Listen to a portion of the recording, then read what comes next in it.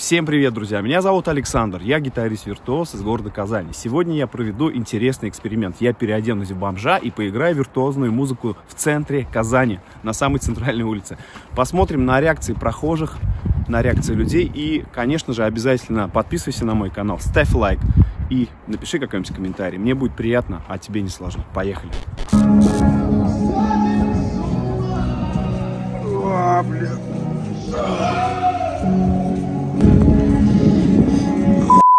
Какой-то играет, вообще играть не умеет, блядь.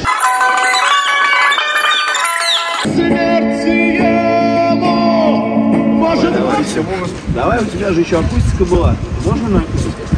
Да, давай, давай, давай.